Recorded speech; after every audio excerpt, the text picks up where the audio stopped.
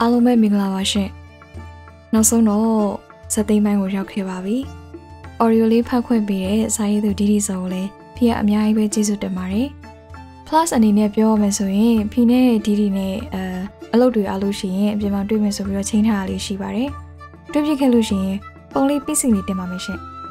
နောက်ပြီးတော့ရေးကြီးမှများသားမောင်တို့ audio လေးကိုအစအနေအဆုံးထိလိုက်ပါခန်းစားပေးကြတဲ့ နောက်ဆင်သူတယောက်ချင်းစီတိုင်းကိုလည်းပြအထူးပဲကျေးဇူးတင်ရှိပါတယ်။အမ်တောင်းဆိုချင်တာလေးတစ်ခုတော့ရှိပါတယ်။ဒီရေးကြီးမှများသားမောင်တို့ audio book တစ်ခုလုံးပေါ့နော်အစအနေဒီအခုအဆုံးထိလိုက်ပါပြီးတော့နားထောင်လာတဲ့သူတွေစီကနေပြီးတော့ feedback လေးတစ်ခုခုကြားချင်တာပေါ့နော်။အဆင်ပြေရဲ့လား။နောက်ပြီးတော့နားထောင်ရတာဘယ်လိုလဲဘယ်လိုခံစားရလဲ။နောက်ပြီးတော့ဒီဇလန်ပေါ်မှာရောဒီဒီရဲ့ရေးသားချက်တွေပေါ်မှာရော ကိုခန်းစားရတဲ့ခန်းစားချက်လေးတွေကို silent listener လေးတွေစီရော active ဖြစ်တဲ့ listener လေးတွေစီကပါအကုန်လုံးကိုကြားကြပါတယ်သိကြပါတယ်ပြောပြပေးကြပါအောင်ရှင်ဖီလက်အတက်နိုင်ဆုံးစူးစမ်းပြီးတော့ reply ပြန်ပါမယ်အော်တိုဘာလမစခင်ဒီကြားထဲမှာတော့အရင် P4U မြန်မာ audio ပုံမှာတင်ခဲ့တဲ့ BL နေအကုန်လုံးကိုဒီဘက်မှာပြန်ပြီးတော့တင်ပါမယ်အော်တိုဘာလစတာနဲ့အသက်စပြီးတော့နားထောင်ပါပါမယ်အမ်ဖီလဲစာရေးသူနဲ့ confirm ပြီးတော့ပြီပေါ့နော်စာဖတ်ဖို့အတွက် အဲ့အတွက်ကြိုပြီးတော့ပြင်ဆင်ပြီးတော့ကြိုပြီးတော့အတန်သွင်းထားပါမယ်။အောက်တိုဘာ၁ရက်နေ့ညနေ6နာရီမှာပဲရှက်ဂျူရော post ကိုအကုန်လုံးတွဲပြီးတော့တင်ပေးပါမယ်။ဘာလေးဖြစ်မလဲဆိုတာ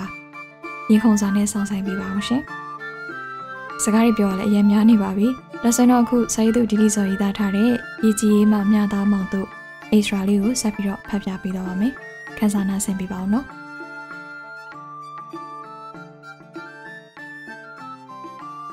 တားမောင်ကငါ့ရင်ဆိုကားဂိတ်မှာမြို့နယ်ပညာရေးမှုရုံးကစာရေးလာယူရသည်အခုဆိုကိုလေးကတားမောင်ဆိုင်ကယ်တယောက်တည်းစီးတာကိုခွင့်ပြုပေးထားပြီသို့တော်လည်းစိတ်ကတော့အမြဲပူနေတတ်သေးသည်ဆရာလေးတယောက်တည်းလားဗျကိုလေးညိုရောကိုလေးကဒီနေ့ပဲလာခောက်တဲ့ပွဲစားရည်နဲ့တွေ့ရမှာမလို့ကြံနေခဲ့ရတယ်ဗျကွန်လေးဖိုင်လာပို့ပါလေဝဲစုထားတဲ့ဒန်နေကြီးလေဆရာလေးမြို့ဝတိုင်းမှာတလားတစ်ခါသွားပြန်သွင်းတာ ကိုအောင်ထင်းဟာရွာတွေဘက်မှာအသုံးမလို့တော့ဒီပစ္စည်းဟောင်းတွေကိုလိုက်ဝဲစုပြီးမြို့အတိုင်းမှာသွားပြန်သွင်းသည့်အလုပ်ကိုလုပ်သည်။တာမောင်မြို့မှာကျောင်းတက်တုန်းကလည်းထိုးစေးတဲ့သူရောက်ဖို့သည်။စာအုပ်အဟောင်းစက်ကူစုပ်ကအစအကုန်ရှောင်းလို့ရသည်။တာမောင်တွေးနဲ့အချမ်းတစ်ခုရလိုက်သည်။တာမောင်ရဲ့ကျောင်းသားတွေမှာနှစ်ကိုနိုင်သုံးမိသားစာအုပ်အဟောင်းတွေပုံနေတတ်သည်။ကိုအောင်ထင်းခမရစာအုပ်အဟောင်းတွေကြမဝဲဘူးလားဗျ။အရင်ကတော့ဝဲပါတယ်ဆရာလေးရဲ့ နောက်ပိုင်းလိုက်စုရတာအလုပ်ရှုပ်လို့မဝယ်ဖြစ်တော့တာဒါဆိုအခုပြန်ဝယ်ပါလားဗျကျွန်တော်ចောင်းသားတွေမှာစာအုပ်အဟောင်းတွေရှိတယ်ဟိုကွန်တီလည်းအလုပ်မရှုပ်အောင်ကျွန်တော်ခမားပေးတဲ့ဈေးတိုင်းကျွန်တော်အိမ်မှာစုထားပေးမလို့ကျွန်တော်ကလေးတွေမုံပိုးရတာပေါ့ဗျာဆရာလေးလုပ်ချင်တော့ကျွန်တော်ဝယ်ပေးပါမယ်ဆရာလေးအိမ်မှာသာစုထားလိုက်ကျွန်တော်များတဲ့ခါလာယူမယ်ဟုတ်ပြီဟုတ်ပြီကျေးဇူးပဲဗျာကွန်တီဆရာလေးများသားမှာတော့သူចောင်းသားတွေအတွက်ဆိုအမြဲတက်ကြွနေတာပဲတော့တာမောင်ကားဂိတ်ထဲကထွက်လာတော့ နောက်မှပြောနေတဲ့ကြားလိုက်ရသဖြင့်ပြုံးလိုက်မိသည်။နွမ်းပါတဲ့ကလေးတွေမို့တားမောင်ကပိုးပြီးကိယူနာတက်ရပါသည်။ဒုနီယာစားပြီးတားမောင်နဲ့ကိုလေးမအလောက်တစ်ခုပိုလာကြရသည်။ဂျွာရဲရရှိရှိသမျှကလေးတွေစားအုပ်လာရောက်နာကိုချိန်ခွင်နဲ့ချိန်ပြီးဝယ်ထားရသည်။ကိုအောင်တီးကတပိတ်သားဘဲ၍ဘဲမြပြောထားပေမဲ့တားမောင်ကတော့လက်ထဲပတ်စံအနှုံးရှိရင်ရှိသလိုပိုးပေးလိုက်တာပဲ။ကိုလေးစုပိုးဆူသည်သည်ချိန်ခွင်နဲ့ပင်ချိန်မနေပဲ လာပေးသမျှယူထားပြီးပတ်စံအနှုတ်တွေပေးလွှတ်လိုက်သည်တခါဆိုတောင်ပိုင်းကဖိုးထူးလေးဟာသူ့အိမ်၌ရှိသမျှစာအုပ်တွေဆွဲချလာပြီးရောင်းသည်ကိုလေးကလည်းတေချာကြည့်မြူထားပဲပတ်စံပေးလွှတ်လိုက်သည်ထိုစာအုပ်တွေထဲဖိုးထူးအဖွားဤဖျားစာအုပ်တွေပါပါလာသဖြင့်တားမောင်မှသွားပြန်ပေးရသေးသည်ငယ်ရေချိုးပြီးပြီလားပြီးပြီဟိုဘက်အိမ်မှာထမင်းသွားစားဖို့ကိုလေးကိုစောင့်နေတာအင်းအဲ့ဆိုကိုလေးရင်မြန်ချိုးလိုက်အောင်မယ် ကိုလေးကရှာခဲနဲ့ကပြန်လာပြီးရေချိုးဖို့လုပ်နေစဉ်တာမောင်ကကလေးများလာရောက်ထားသည့်စာအုပ်ပုံကိုမွေးနှောင်နေသည်တချို့ဗလာစာအုပ်တွေမှာစာရွက်လွတ်တွေတော်တော်များများကျန်နေသေးသည်ကိုတွေ့ရသဖြင့်တာမောင်မျက်မှောင်ကျုံသွားသည်ဒီကလေးတွေစာရွက်တွေကိုပုံအောင်လည်းမရေးကြဘူးကွာတာမောင်ကဗလာစာအုပ်တိုင်းကိုတစ်ခုချင်းစီတေချာလန့်ကြည့်ပြီးစာရွက်လွတ်တွေကိုဖျောက်ယူပြီးသက်သက်ဆူထားဖို့လုပ်သည် နောက်ရမှာအတန်းကြီးကလေးတွေကိုခေါ်ပြီးတော့ဖြုတ်ခိုင်းရအောင်မီ။တာမောင်အလုံးရှုံနေတော့ရေချိုးပြီးသွားတော့ကိုလေးကအနားသို့ရောက်လာကဝန်ထိုင်သည်။အငင်းဘာလို့နေရတော့ကွာ။ကိုလေးစီကအမွှေးဆက်ပြန်တဲ့တင်းတင်းလေးရသဖြင့်တာမောင်ကကိုလေးလက်မကိုရွှက်ကနေနှမ်းလိုက်သည်။อืมမွေးနေရပဲ။ဒီနောက်ငွေကြည့်ပါဦး။ကိုလေးကတားမောင်မျက်နှာရှိသူ့ပါးကိုထိုးပေးလိုက်သဖြင့်တစ်ချက်နှမ်းပေးလိုက်သည်။ ငွေတယ်ဒါဆိုလားခနဲ့သွားရဟမ်ကိုလေးနော်မျက်နှာပြောင်းနေနဲ့စတာအခုမသွားသေးဘူးညမညမတာမောင်ကကိုလေးကျောက်ကိုအားနဲ့ထုတ်ပြလိုက်သည်အာယောက်ျားကိုလှုပ်ပြန်ပြီဒီဆရာလေးကတော့ကိုလေးကလာပြောင်းနေတာကိုဒီမှာကျွန်တော်စာရွက်လို့တွေဖြုတ်ထားတယ်ကိုလေးစာအုပ်ချုပ်ပေးအောင်နော်မဝယ်နိုင်တဲ့ကလေးတွေပြန်ပေးတော့အောင်လို့အများကြီးပါလား ဆရာလေးမြတ်သားမောင်တောလိုက်တာဗျာကိုလေးကတားမောင်ကောင်ကိုပုတ်ပင်းပြောနေသည်မို့ပြုံးမိရသည်ကိုလေးကသူ့ဟာသူကနေရုတ်တည်နေနေပြီးတားမောင်နဲ့နှစ်ယောက်တည်းဆိုအရက်မျက်နှာပြောင်းကလိုက်လိုက်စားတတ်သေးသည်။တားမောင်ကဆာရွက်လွတ်တွေကိုလန်လောကအလှုပ်ရှုပ်နေရင်ကစားအုပ်တော့မှထူးခြားတာတခုသွားတွေ့မိသည်။အမ်ဒါရီးစားစာမလား။ကိုလေးကပါတားမောင်နာတိုးကပ်ပြီးစာကိုငုံဖန်လာသည်။ တို့တိတ်ချရတဲ့အစုကြီးနေကတိတ်လှတာပဲ။ကိုနေကနင့်လွယ်ကြီးထဲကဇီးတုပ်လေးကငါထည့်ထားတာတန်လုံးကအစုကိုကြိုက်တယ်လို့ပြောလို့ငါတို့ရန်ဖြစ်ကြသေးတယ်။နင်ငါ့ကိုချစ်ရင်ဇီးတုပ်လေးကိုစားလိုက်နော်။နင်ဇီးတုပ်စားလိုက်ရင်ငါချစ်သူဖြစ်သွားပြီ။ကောင်းကင်မှာရေကြီးပြီးရေကြီးမှာလှတာလို့မန်းချောင်းရည်တွေခန်းသွားရင်တော့မှအစုကိုမမေ့နိုင်နဲ့တိမ်တန် အစုဒီစာဖတ်ပြီးရင်ဖျက်လိုက်ပါနော်။ဆရာလေးကိုမတိုင်ပါနဲ့။စာဖတ်ပြီးသားမောင်ရည်လဲရည်ချင်းစိတ်လဲတူသွားသည်။အစုလေးကသားမောင်ရဲ့အချစ်တော်အတန်းထဲ၌စာတော်ပြီးလိမ္မာသည့်ကောင်မလေးဖြစ်သည်။သားမောင်စကားကိုဆိုတသွေးမတိန်သေးချာနားထောင်တတ်သည်။ကိုလေးကသားမောင်ဘေးတွင်တခွေ့ခွေ့နဲ့ဦးတက်နေပြီးတိန်တန်ကွာဆရာလေးကိုမတိုင်ပါနဲ့ဆိုပြီးဆရာလေးစီသူကိုယ်တိုင်လာရောက်သွားတာပဲကွာ ဆရာလေးမြာသားမောင်ကတပည့်ရရေးတဲ့ရီစားစာကိုပတ်စံပေးပြီးဝယ်ပတ်နေတာနော်ကိုလေးနော်ဒီကောင်ကလူ့ဘောလက်တော့လောက်လေးရှိသေးတယ်ရေးစားစာရေးတယ်နေပြီကျွန်တော်တို့မြန်လေလေးရန်လောက်ကဆိုရေးစားစာပေးဖို့နေနေသလားစောလို့တောင်မဝတာဘူးဒါမျိုးတွေစိတ်ကိုမဝင်စားတာတွေ့အောင်မယ်နေနေအောင်ခမရလေးလည်းစိတ်ဝင်စားလို့မရပါဘူးစိတ်ဝင်စားရင်ကြုံနဲ့တွေ့တော့မှာပေါ့ကိုလေးကတားမောင်တစ်ခုကိုလက်ညှိုးနဲ့ထိုးပြီးပြောသည်တားမောင်ကကိုလေးကိုဥကြည့်ကြည့်လိုက်ပြီး ပြောတာပြောတာအဲ့ဒီရေတွေကစိတ်ဖြောင်းဖြောင်းနဲ့မစောခဲ့ရပါဘူးကိုလေးနဲ့ပန်းရင်ဖြူကိုဥတူနေရတာနဲ့အငယ်ရတော့ကွာကိုလီယာတားမောင်စပင်းနေကြတဲ့လက်ထိုးပွားပြီးဘာကိုတရွှွတ်ရွှွတ်နဲ့အလိုက်နိုင်နေသည်အာကိုလေးဖဲပါဦးဒါနဲ့လေတိမ့်တန်းရဲ့ရီးစားစာတွေ့မှာကိုလေးကျွန်တော်တို့တခါမှရီးစားစာမပေးဘူးနော်လူတယောက်လုံးကိုတန်းပေးလိုက်တာရီးစားစာလိုသေးလို့လားအငယ်က ဒါပေမဲ့သူများချစ်သူရီးစားရလို့ကျွန်တော်လည်းရီးစားစာဖတ်ချင်တာပေါ့ဗျဟုတ်လားအဲ့ဆိုစာရွက်နဲ့ပေါ်ပင်ပေးကိုလေးခုရေးပေးမယ်အာအဲ့လိုရဘလို့လို့ပြောရင်ခုန်စရာကောင်းတော့မှလေဗျကိုလေးပေးမယ်ဆိုငယ်တော့ကသူများနေပြီလို့ကျွန်တော်မသိအောင်ပေးပေါ့အော်ပြီးရောလာအခုထမင်းသားစားကြမယ်တားမောင်နဲ့ကိုလေးပါကြီးတို့အိမ်ထမင်းသွားမစားခင်တားမောင်ကတပည့်မလေးအဆုအိမ်သို့အရင်ထွက်ခဲ့လိုက်သည် ဤစားစာတွေပေးခံရရင်မယူဖို့ဆုံးမရအောင်မည်။ချန်ရှိရနေသားမောင်ကခေါ်လိုက်တော့အဆုလေးကပြေးထွက်လာသည်။ဆရာလေး။အင်းအဆုလောင်းမိမိကိုတိမ့်တန်းရေးစားစာတွေပေးတယ်ဆို။သားမောင်ကမေးတော့အဆုကဦးလေးလေးလေးလောက်ခါခေါင်းခါသည်။ကြည်ရတာတိမ့်တန်းကရေးတာရေးပြီးမပေးဖြစ်ဘူးထင်သည်။အင်းဟုတ်ပြီ။တကယ်လို့အဆုကိုကောင်လေးတွေကလိုက်စားတာတို့စာပေးတာတို့လောက်ခံရရင် ဆရာလေးကိုချက်ချင်းလာတိုင်ရမယ်နော်သိလားဟုတ်ဆရာလေးမရှိတဲ့ချိန်ဆိုဆရာကြီးဦးလာဆောင်ကိုသွားတိုင်ဆရာမတော်သစင်အေးကိုလည်းတိုင်လို့ရတယ်အခုလိုမျိုးကြောင်းတက်နေတဲ့အရွယ်မှာစာပေးတယ်ဆိုတာမကောင်းဘူးအဲ့ဒါအစုကိုနှောက်ယှက်တာနဲ့အတူတူပဲသိလားဟုတ်ပြီးတော့လွယ်ထဲမှာမိမိဝယ်ထားတာမဟုတ်တဲ့သူများမုံတွေဇီးတုပ်တွေဘာတွေတွေ့ရင်မစားရဘူးသိလားဆရာလေးကိုလာပေးဆရာလေးကစားမို့လားအမ်မဟုတ်ဘူးလေ ထည့်ထားတဲ့သူဘယ်သူလဲရှားမှာပေါ့တော့ကြ तू ကပျောက်ပါတယ်လို့ပြောရင်မိမိခိုးထားတဲ့အထင်ခံရမှာပေါ့မိမိမခိုးဘူးလေစားပဲစားပြစ်လိုက်တာอืมနောက်တစ်ခါတွေ့ရင်မစားပြစ်ရအောင်နော်ပိုင်ရှင်ရှာပြီးတော့ပြန်ပေးရမယ်ဟုတ်ကဲ့ဆရာလေး သားမောင်မှာအဆုလေးကိုသူနားလည်နိုင်သလောက်ရှင်းပြပြီးပြန်လာခဲ့ရသည်။ဘာကြီးတို့အိမ်ရောက်တော့ထမင်းစားဖို့ပြင်နေကြပြီ။ကိုလေးကိုခင်မောင်သိရော ငါ့ရဲ့ဆိုသွားကြရှိလို့တဲ့အရင်စားပြီးသွားနေပြီ။ကိုလေးကနိုင်ရတွင်ထောင်ထားသောထမင်းစပွဲဝိုင်းကိုလှည့်ယူလာပြီးအိမ်ရလဲခန်းတွင်ချလိုက်သည်။သားမောင်ကမမထွေးညွန့်နှင့်အမေကြီးကိုထမင်းခူးပေးဖို့ကူရသည်။အာကြက်သားနဲ့လျောမှုေးနေရပဲ။ဒီနေ့သားမောင်အကြိုက်ဆုံးကြက်သားဟင်းချက်သည်။အနှစ်လေးနဲ့နေပြီးကြက်ချတော့ရိုးလေးကပ်ရရင်ဘာနဲ့မှမလေးနိုင်တော့နှက်တော့တာ။သားမောင်ကကြက်သားဆို အသားတွေထက်အယိုးကိုပိုကြိုက်သည်။သားမောင်ကဟင်းအိုးကိုမွေပြီးပကံနဲ့ခတ်ထည့်နေစဉ်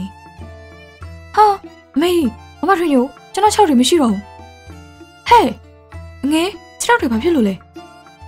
သားမောင်အော်တန်ကြောင့်ဘေးနားမှာထမင်းခုနေသောအမေကြီးကလှမ်းသွားပြီးကိုလေးနဲ့မမထွေညိုကမိဖို့ဆောင်ထဲသို့ပြန်ဝင်လာကြသည်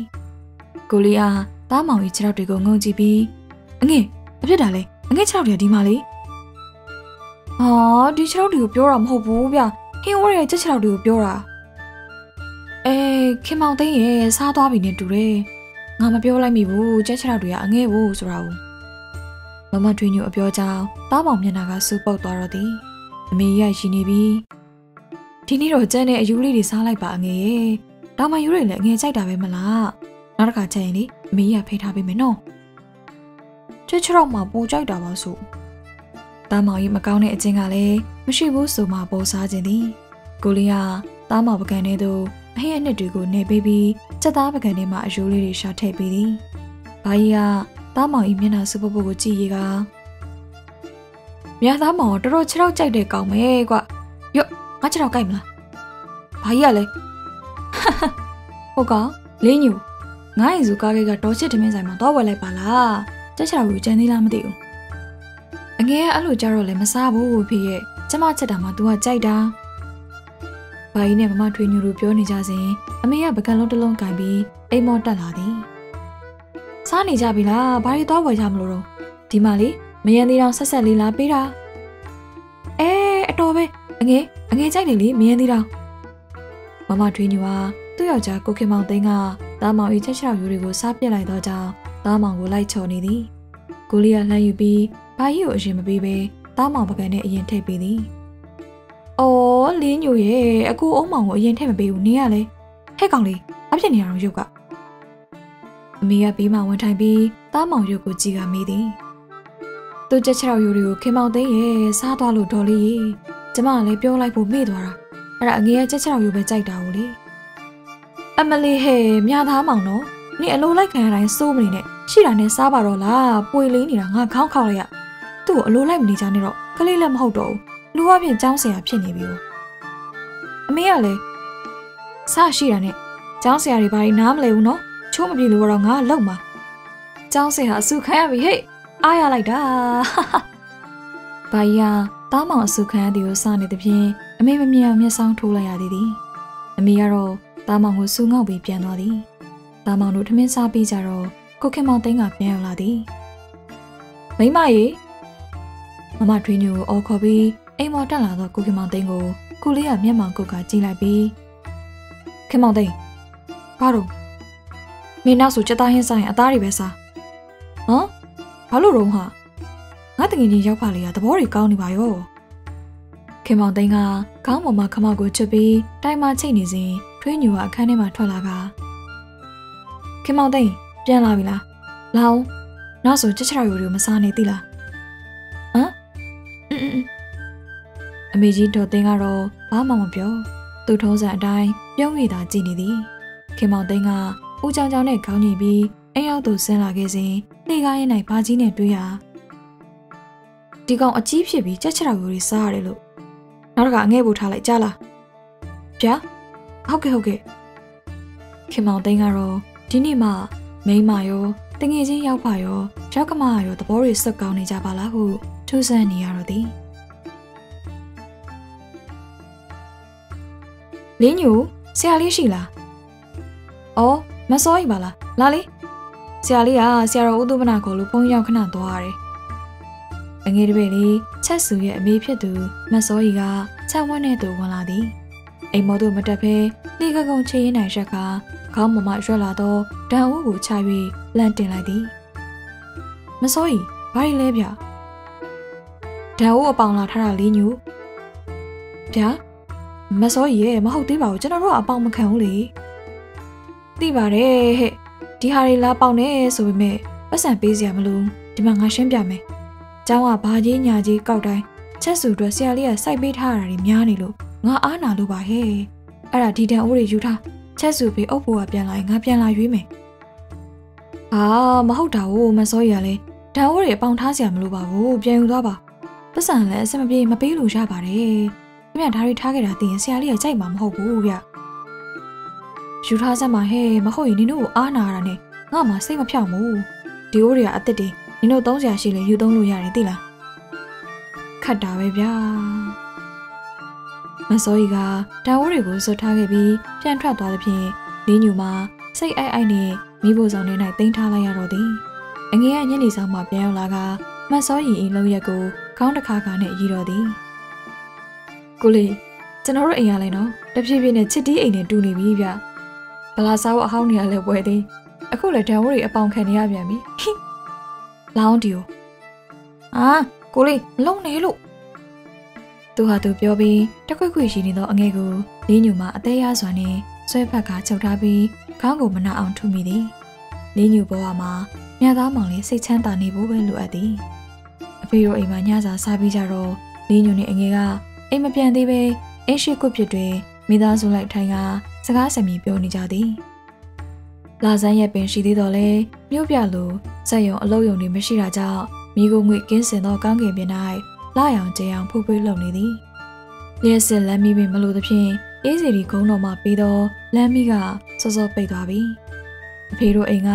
ရွာလဲလမ်းမရက်မှာဖြစ်တာကြောင့်ညဘက်ဆိုဓမင်းစားပြီးအိပ်ပြေးလမ်းလျှောက်ကြသူနှင့် စော်စားနေကြသောကလေးများနှင့်အိတ်ရှိတွေအမြဲဆူညံနေတတ်သည်လင်းညူတို့ကရင်းနှွေးချမ်းတောက်ကစကားပြောနေကြပြီးအငယ်ကခွဖြစ်ပေါ်တွင်အမေပေါင်ပေါ်၌ကောင်းအောင်ပြီးလဲကထမင်းလုံးစီနေသည်ထိုအခိုက်တွင်အိရှိနိုင်စောစားနေကြသောကလေးများထံမှငင်းခုန်ရှမ်းဖြင့်စူညံတန်ထွက်ပေါ်လာသည်ဖြင့်အငယ်ကခေါင်းထောင်သွားသည်မင်းတို့ဘက်ကရင်ညက်တာကွမရဘူးငါဆရာလေးနဲ့တော့တိုင်ပါနော်အဖေကလမ်းမဘက်သို့လှည့်ကြည့်ပြီးအငယ်အားပြောသည် ဟိုငယ်ကမင်းကလေးတွေဖြစ်ကြပြန်ပြီဟာလင်းညူတို့ပါလမ်းမဘက်စီသို့အာယုံရောက်ကုန်ကြသည်ဟာလို့မသားတယ်လင်းပြုတ်လို့မပါခိုင်းတာလားဆဲတန်ငိုးတန်တွေပါထွက်လာတော့အငယ်ကကွပြစ်ပေါ်ကဆင်းကပစိုးပြင်ဝက်နေကြပြီဟာဒီကောင်ကြီးမဆဲရပါဘူးလို့ပြောထားတာကိုနေနေအောင်အငယ်ကပျော်ပျော်ဆူဆူနဲ့အိတ်ရှိသူထွက်သွားသဖြင့်လေးညူကနောက်ကလိုက်ဖို့လိုရသည် ဟဲ့ကောင်လေးဘာဖြစ်ကြတာလဲဟိုကောင်မိုးထီကဘာလို့ဆဲနေရတယ်လဲထောက်စီတိုရန်ဆော့နေကြတာဆရာလေးမိုးထီကညစ်တယ်သူ့ကိုမပါခိုင်းလို့ဆဲနေတာမညစ်ဘူးဆရာလေးအဲ့ဒီကောင်ကကျွန်တော်မတိုးရသေးပဲနဲ့ဒီနားမှာရက်ပြီးတော့ဝင်းရိုင်းမှောက်ပြီးလာဖမ်းတာတင်ဝင်းအဲ့လိုကြီးဖမ်းလို့မရဘူးလေမင်းကလေရတယ်ဆရာလေးရဲ့အဲ့လိုပဲဖမ်းကြတာ哦ဟဲ့ကောင်မင်းအားချောင်းမနေနဲ့ငါငငယ်ကလေးကဆော့လာတာမင်းတို့ထက်ဆဲစားကြွနဲ့ငါ့ကိုလာမလိမ့်နဲ့ ကလေးတွေရမဲဖြည့်ရှင်းဖို့သွားတဲ့ဆရာလေးကကလေးတွေနဲ့အပြန်ညင်းနေသဖြင့်လေးညူဟာရှင်လီရဲ့နောက်နားမှာလက်ပတ်၍ကြည်နေလိုက်သည်ထို့ခိုက်ဘေးမှရွှဲ၍ကြည်နေသောအေးမာကအငဲ့ကိုဝင်၍ညင်သည်ရပါတယ်ဟဲ့မြသားမောင်ရဲ့ငါတို့ငငယ်ကလည်းအဲ့လိုပဲဖမ်းတာပဲ哦အဲ့ဒါမှားနေတာဗျတကယ်ထုတ်စီးတိုးတယ်ဆိုတာစီးကိုဖြတ်တိုးတဲ့အချိန်ကျမှဖမ်းရတာမအေးမှာပဲဒီမှာလေထုတ်စီးမှာကောင်းကောင်းမထိုးတတ်တာအောင်မဘာလို့မတိုးတတ်ရမှာလဲကိုတော်ပြန်လိုက်ချင်သေးတယ် ထိုအခါဘေးမှာအငဲ့တငယ်ချင်းတွေပါရောက်လာပြီးအေးမာကိုဝိုင်း၍စိန်ခေါ်ကြတော့သည်မအေးမာအပြောမကြည့်နဲ့နော်မအေးမာတို့အဖွဲကိုကျွန်တော်တို့အဖွဲကငဲနိုင်နော်မကြည့်နိုင်မအေးမာခုလူစုလိုက်အေးစုမယ်ဟေးရတယ်ရတယ်မမီစုတို့သွားခေါ်စမ်းတာလုံးခေါ်ခဲ့သွားမအေးတီတာကြီးပါခေါ်ခဲ့လင်းလင်းဦးကစိန်ခေါ်တယ်လို့ကြက်သုံးကောင်နဲ့ဘူးဒီနှလုံးကြီးဟာကြက်သားကာလာသားဟင်ချက်စားပြစ်မယ်လောက်ကြဟေးကြသလားလို့ ကလေးတွေခဏဖဲလိုက်ကြစမ်းအခြေအနေကကလေးဘွဲကနေလူကြီးဘွဲရောက်တော့မြင်မို့လင်းညူကရည်ကျင်နေရပြီဘေးမှာအရေးဖို့မတို့ကပါအားပေးအားမြောက်လုပ်ကုန်ကြတော့သည်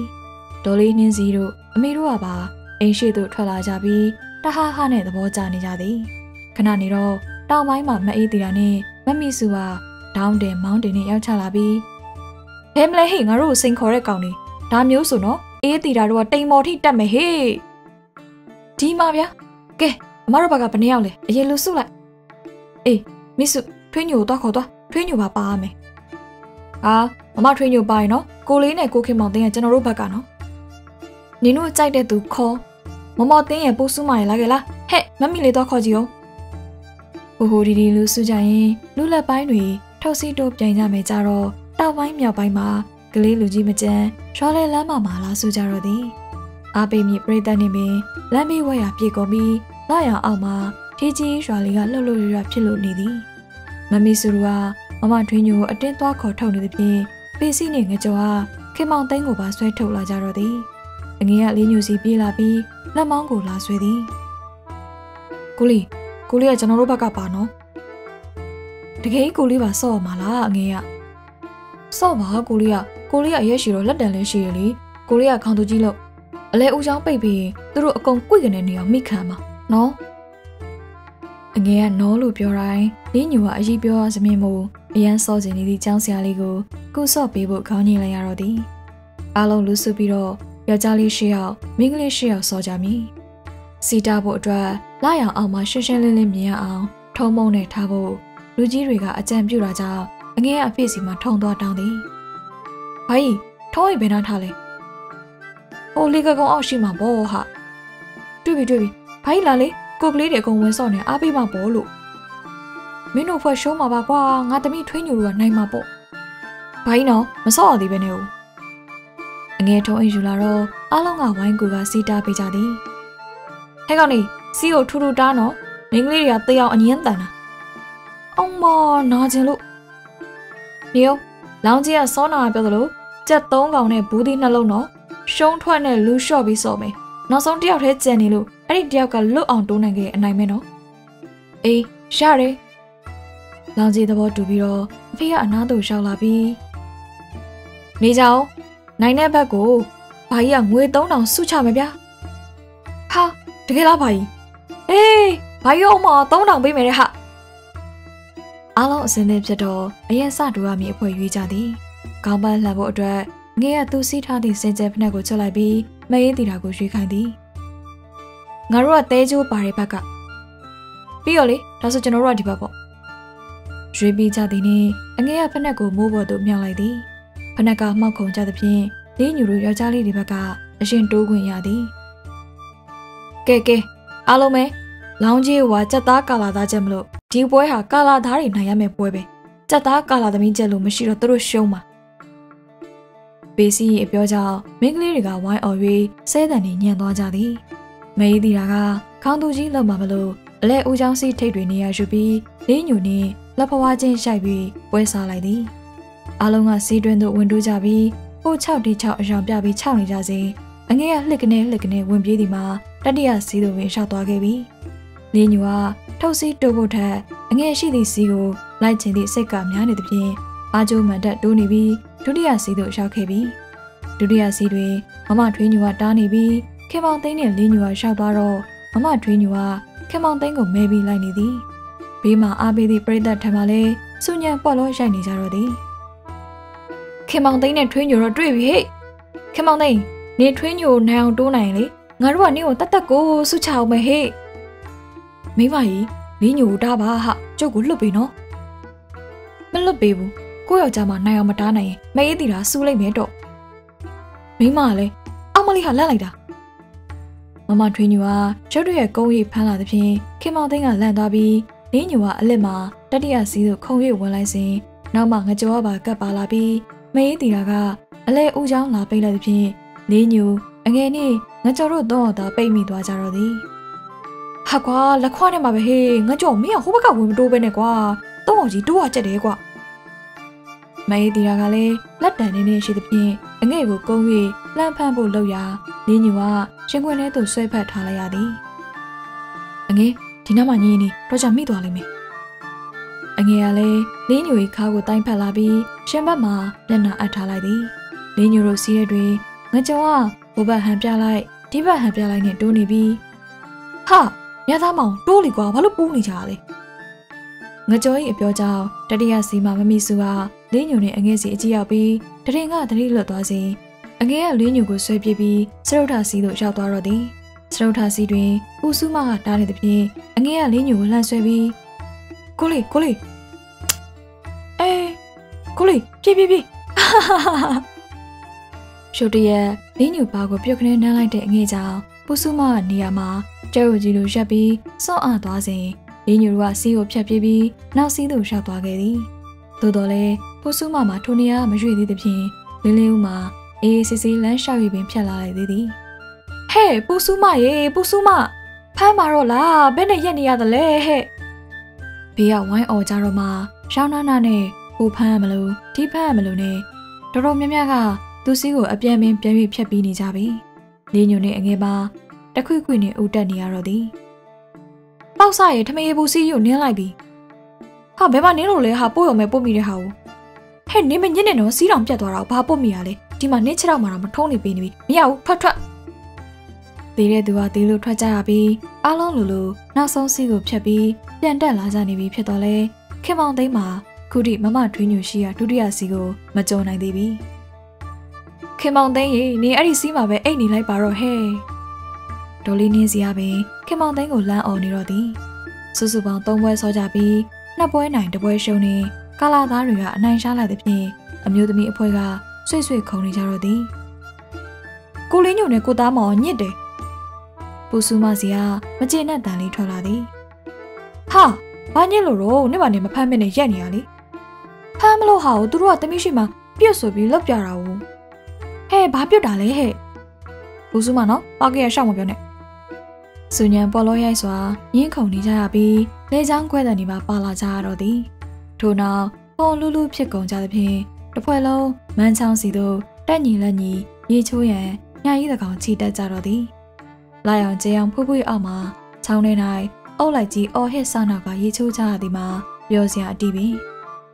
လင်းညူတို့ကအိမ်နေသဖြင့်ခြေလဲပစုတွေစက်ပြချင်းတွေပါယူသွားခဲ့သေးသည်အားလုံးက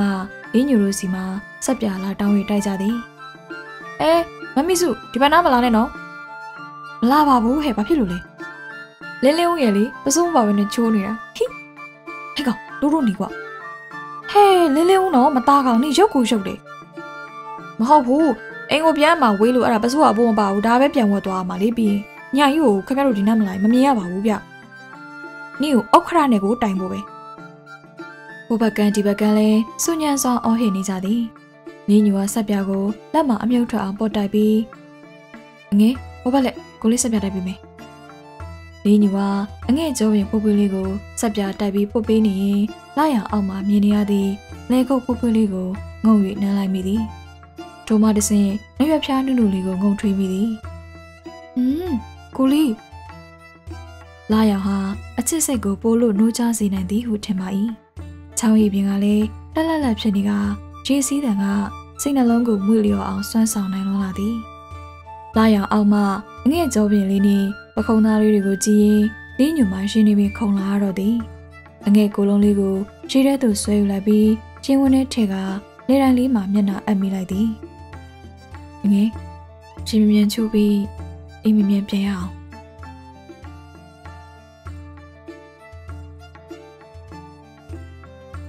စနေနေ့ကျောင်းပိတ်ရမို့တားမောင်အိမ်မှာဆာလာချက်ကြသည့်ကလေးတွေနဲ့ပြည့်နေသည်အမှန်ကပိတ်ရဆိုတားမောင်က စာမလိုက်နိုင်သည့်ကလေးတွေကိုသာအချိန်ပိုသဘောမျိုးခေါ်တင်ပေးခြင်းဖြစ်သည်သို့တော်လည်းအိမ်မှာစာကောင်းကောင်းမလုပ်ချင်သည့်ကလေးတွေရောစာလိုက်နိုင်သည့်ကလေးတွေရောကပါရောက်လာကြသဖြင့်အိမ်ပေါ်မှာရောခြံထဲမှာပါဆူညံနေကြတော့သည်ဟိုကောင်နေဟိုကောင်နေတိန်တန်တန်လုံးမိုးတီချက်စုရဆရာလေးမင်းတို့လေးယောက်လူခွဲနေပူးမနေကြနဲ့ဟုတ်ကဲ့နှစ်ယောက်စီပူးလို့ရလားဆရာလေးဟဲ့ကောင်နှစ်ယောက်စီလည်းမပူးအောင်သွားတယောက်တစ်နေရာစီနေ ထုံငမွေလေးယောက်ကပူးနေရင်တွတ်ထိုးညင်းခုန်ပြီးဘဲတော့မှစာမရပြီငယ်တုန်းကသားမောင်နဲ့ငကြိုတို့အဖွဲ့ကိုဆရာကြီးဦးလာဆောင်ကလူခွဲထားရတယ်လို့သားမောင်လည်းအခုတိန်တန်းတို့လေးယောက်ကိုလူခွဲနေရကြပြီတိန်တန်းကအဆုတို့မင်္ဂလိနာသွားက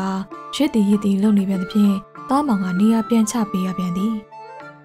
တိန်တန်းမင်းချန်နဲ့အသက်ပြင်အောင်သွားဟုတ်ကဲ့ဆရာလေး တတိန်တန်ကခြေနှက်ပုံမရတော့လေသားမောင်ကိုကြောက်၍ပေးဆောင်ပေးဆောင်ဖြင့်ခြံထဲသို့ဆင်းသွားရသည်သားမောင်လည်းကလေးတွေနေရာချထားပြီးမှအိမ်စာထပ်ထားတာတွေကိုစစ်ဖို့လိုရသည်ထိုချိန်မှာပဲခြံထဲသို့ချက်စုအမေမတ်စောရီကဝင်လာသည်လူမမြင်ရသေးဘူးခြံထဲ၌စားကြက်ခိုင်းထားသောချက်စုကိုစုငေါ့နေတဲ့ကအရင်ကြားရသည်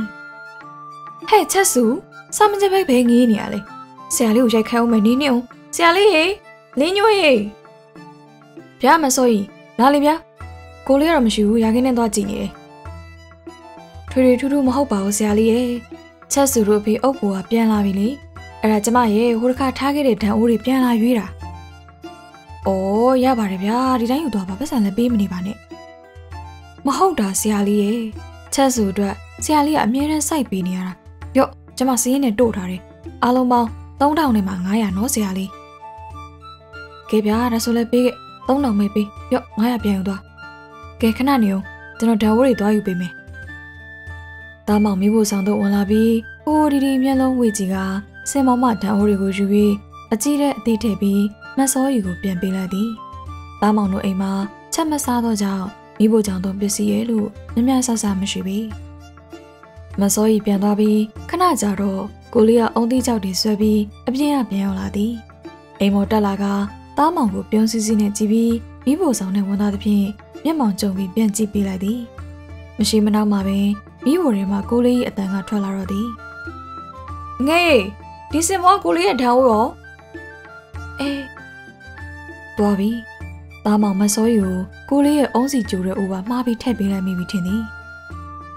ဒီပေါ်မစောရီရဲ့ဓာတ်အိုးတွေရောကိုလေးအဲ့ဒါလေ ခုနမစောရီရဲ့သူ့အိုးတွေပြန်လာယူဘာမှအငဲကုန်းထည့်ပေးလိုက်တာလားဟိုကျွန်တော်ခုပြန်သွားယူလိုက်မယ်တားမောင်ကပြောပြီးအိမ်အောင်ဆင်းဖို့လို့တော့ကိုလေးကတားမောင်လက်ကိုလာဆွဲထားပြီးမတော်နဲ့တော့ငယ်တော့ကြသူတို့ကဟိုးထက်ဒီထက်နဲ့ညစ်ပတ်ကုန်လိမ့်မယ်ကိုလေးအစ်စ်ပဲသွားပါတော့မယ်ဟုတ်ဗျာကိုလေးကတားမောင်ကိုရှုတီတီနဲ့ပြောပြီးမျက်မှောင်ကြီးကျုပ်ကအိမ်ရောက်သို့ဆင်းသွားတော့သည်တားမောင်ကသာအထိမခံရွှေပကန်းဆိုပြီးပြောတာကိုလေးကမှလေ သူ့အုံးစီကြိုးတဲ့ကိစ္စနဲ့ပတ်သက်ရင်အထိမခံရွှေပကန်းအစ်စ်သူ့အုံးစီသုံးရသည့်အခါတိုင်းမှာလဲတက်ကြွနေတတ်သည့်ပုံကိုပြန်တွေးမြင်ရင်တားမောင်မျက်နှာဖြန်းကနေပင်ဖြစ်သွားတော့သည်အိတ်ခမ်းထဲကပလင်းပင်တော့ဘမကြိုးသေးပဲပုံသည့်ကြောက်တွေထိုက်ပလာပြန်ပြီဒီယောက်ျားကတော့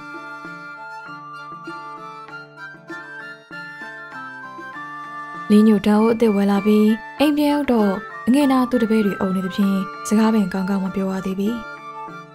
ကျောင်းပရက်လေးနှစ်ယောက်အေးအေးဆေးဆေးနေရမယ်မရှိဘူး။အငယ်ကျောင်းသားတွေကရှုပ်ကိုရှုပ်လွန်လာသည်။မနေ့ကျရင်ကလေးတွေစာသင်ညာရှိတယ်ဆိုပြီးညရလေလင်းညိုကိုအငယ်ကပြစ်ထားသည်။အငယ်ကအိမ်ရှိခန်းစပွဲတွင်ထိုင်ပြီးစားအုပ်ပုံလေးနဲ့အလုပ်ရှုပ်နေသည်။ကလေးတွေကလည်းညင်ကြခုံကြစားအဝတ်ကြကြနဲ့ပေါ်လောရိုက်နေကြပြီးလင်းညိုတယောက်သာရောင်ချာချာနဲ့ဘာလို့အောင်မှမသိဖြစ်နေသည်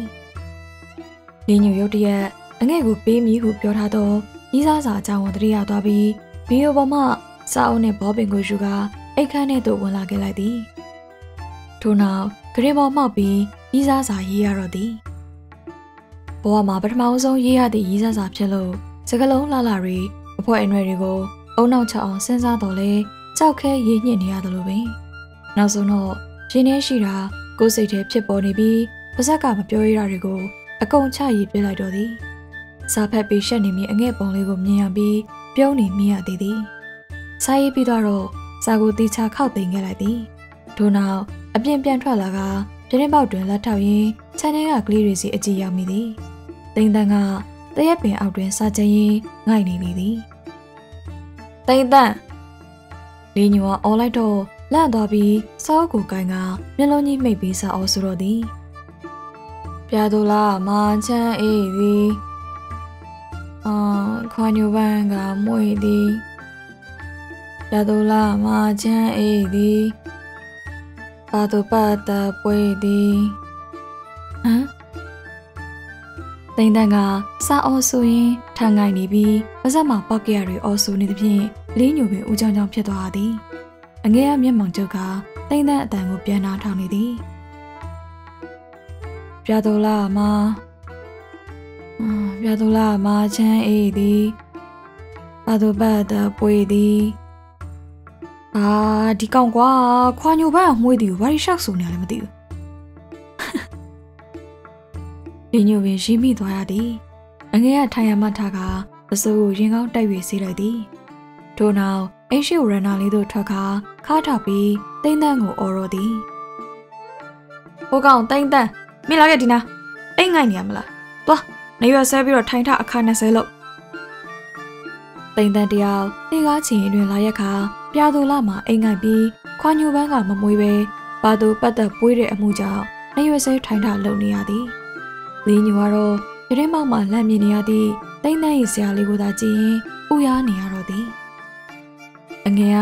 ရင့်လျာရေချိုးခေါင်းလျှော်ထားသဖြင့်စီမလိန်ထားသည့်သပင်အုပ်လေးကနှစ်ဖူးပြပြပေါ်ဝဲနေသည်ဘေးတိုင်းမြင်နေရသည့်နားရဲချွချွန်လေးကထင်းနေပြီးတီရှပ်နှပ်ပြအောင်လေးက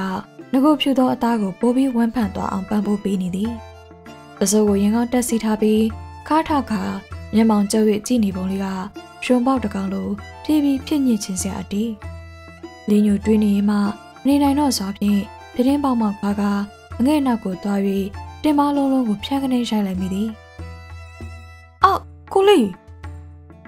မရတော့ဘူးဦးရားနေပြီ။ပစိုးဘလို့ဝတ်ထားလဲဟမ်။လင်းညိုကပြောပြီးအငဲ့တင်ပါတစ်ဖက်ကိုလက်နဲ့ညှင်လိုက်သည်။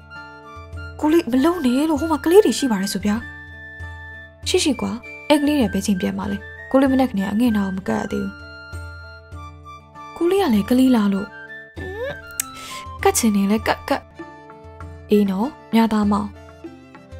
အငယ်ကလင်းညူသူ့ကုံလုံးလုံးနဲ့အတင်းပြကပ်ပြီးနိုင်ရန်ဘတ်တို့တွန်းသည်လင်းညူကပိုအသေးရသွားရပြီးအငယ်ကိုဆွဲဖက်ကပကုံးတစ်ဖက်ကိုငုံကြိုက်ပစ်လိုက်သည်အာကူလီနားရီလို့ อืมအောင်ဖွားအောင်ဖွားလင်းညူကြိုက်တာနည်းနည်းအားပါတော့သဖြင့်အငယ်ကနားသွားပုံရသည်လင်းညူကလက်နဲ့ပုတ်ပြီးကအုံဖွားလုပ်ပေးနေပြီးအငဲ့ကိုစားလာပြသောအဆုလေးကတွေ့သွားပြီးသူတို့ဆရာလေးကိုကြိုက်သောလေးညိုကိုနှက်ခမ်းဆူ၍ဥကြည့်ကြည့်နေတော့သည်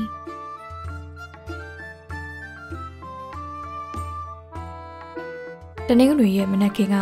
ရည်ကြီးရွာလေးအတွက်ဘာမှထူးထူးထူးပြောင်းလဲသွားခြင်းမရှိပေ။ ရွာသူရွာသားတွေရဲ့ထုံးစံအတိုင်းဒေါ်အလုတ်ရှားကင်းအလုတ်အိမ်အလုတ်များနဲ့ကြီးမနှုတ်ခင်ကလေးကလှုပ်ရှားအသက်ဝင်နေကြပြီ။သားမောင်ကတော့ចောင်းပိတ်ရက်များတွင်ထုံးစံအတိုင်းဆရာတော်ဥဒုမနာကျောင်းအတွက်နှက်ကင်းဆုံးခံလိုက်ရသည်ငငယ်ကလေးကကိုလေးနဲ့သားမောင်ကဆရာတော်ကျောင်းမှာဝေယဝစ်စာလုပ်ပေးနေကြမှုအခုချိန်ထိဆရာတော်ကသားမောင်တို့ကိုအားထားသည်ဆရာတော်ဥဒုမနာကျောင်းအပြင်တခြားကျောင်းတွေကိုလည်းရွာကအားရင်အားသလို လိုအပ်သည့်နေရာတွေမှာကုသယူကြသည်ဒီနေ့တော့သားမောင်နဲ့ကိုရင်လေးတစ်ပါးကကြီးကြီးရွာအတွက်တာဝန်ယူပြီးတခြားကျောင်းသားတွေနဲ့ကိုရင်တွေကဘိုးကုန်းရွာဘက်ကိုသွားကြသည်စွန်ခံပြိုးဟဲဒီနေ့ဆရာလေးလှည့်လားဟုတ်ကဲ့ကြီးဒီနေ့အကြောင်းပိတ်တယ်လေအေးဟုတ်သားအကြီးမမြကြီးကကိုရင်လေးတပိတ်ထဲသို့ဆွန်လောင်းလိုက်ပြီးသားမောင်၏လင်းပန်းထဲမှ ဒိုင်ဟင်းကွက်အသေးလေးကိုယူကာမိဖို့ဆောင်ထဲသို့ဝင်သွားသည်ခဏနေတော့ပန်းကော်ပီကျော်တွေထည့်ပြီးပြန်ထွက်လာသည်သားမောင်တို့ရွာရီဘက်မှာဘာတီးနံပေါ်နေပြီလဲလို့ဘဲမှသွားမိစရာမလိုဘုံကြီးကြောင့်မှဟင်းခွက်တွေတွေကြည့်လိုက်ုံနဲ့သိနိုင်ပြီသည်ပန်းကော်ပီပေါ်ခြင်းဆိုဘုံကြီးကြောင့်ကဟင်းခွက်တွေအကုန်လုံးနဲ့တွင်ပန်းကော်ပီတွေကြီးပဲဖြစ်သည်မကြီးရွယ်နုပေါ်ခြင်းဆိုဟင်းခွက်တွေထဲမှာမကြီးပဲဟင်းကိုပုံစံမျိုးစုံနေပြီ အကြီးမမြကြီးတို့အိမ်ထဲကထွက်လာပြီးလင်းလင်းဦးတို့အိမ်ရောက်တော့လင်းလင်းဦးအမေအကြီးမစိန်ကထွက်လာသည်တားမောင်ဒီနေ့ဖုန်းရောက်လိုက်တယ်လားကလေးဟုတ်ကဲ့အကြီး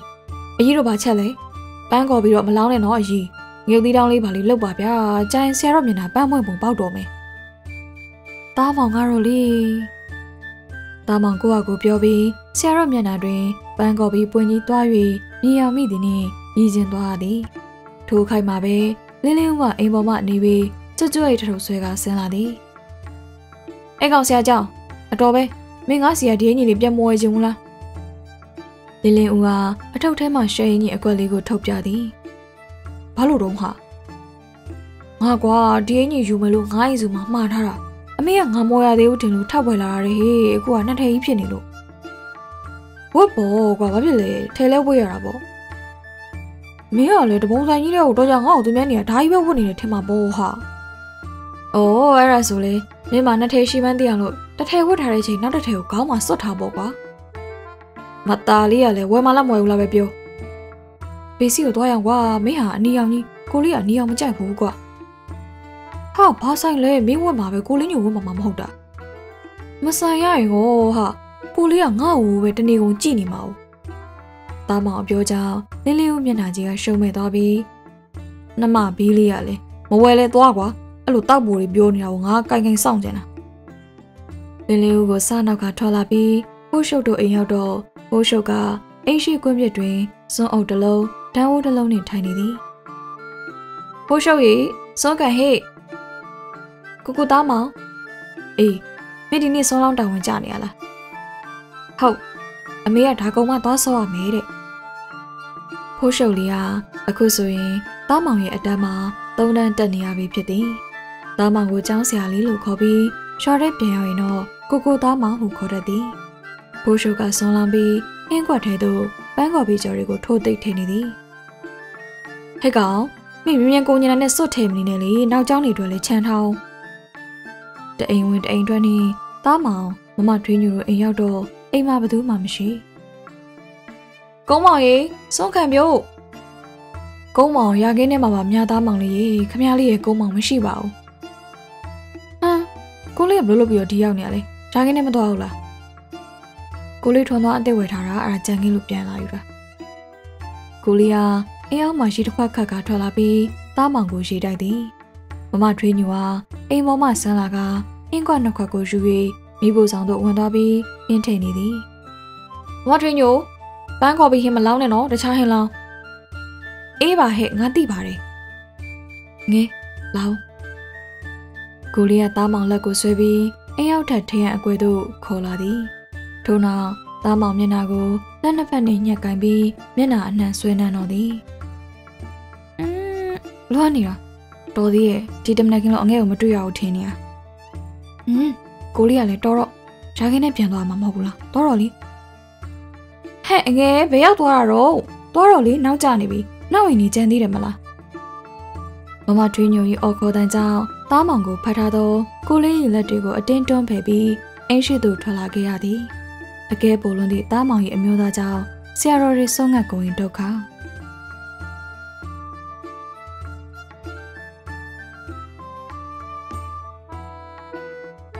လင်းညူရခင်းထဲကပြန်ရောက်ခြင်းရီမိုးချိုးပြီး အဖေတို့အိမ်ဘက်ထွက်ခဲ့သည်အိတ်ကတ်ထဲဝှက်ယူလာတော့အငဲ့အတွက်စားကိုလက်နဲ့စမ်းကြည့်ပြီးခြံထဲဝင်ခြင်းအငဲ့ကိုအရင်ရှားသည်အငဲ့ရေအငဲ့မေအငဲ့ရောဟဲဒီအငဲ့ငှက်ကလည်းနော်အာနေအငဲ့အငဲ့ပဲအော်နေတာငှက်မြည်နေတယ်လို့ပဲမေကလည်းဗျာငဲ့ချင်းအိမ်မှာနေမှာပေါ့လင်းညူဟာချန်စီယိုနာသွားချောင်းတော့ ခြံထဲမှာအမေကြီးတော်သိန်းရှင်ကိုသာတွေ့ရသည်မေငဲ့ရောဟေးနေငယ်သူ့အမေနောက်လိုက်သွားတယ်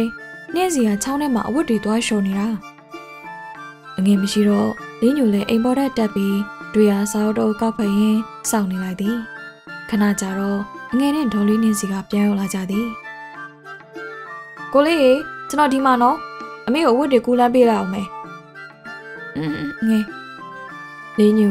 အိရှိဂျမော်ကန်ဝရဏာမှနေပြီးအငယ်ဝက်လန်းနေသည့်ချင်းချန်တွေကိုလမ်းကြည့်နေရင်မှအကြံတစ်ခုရှာလိုက်သည်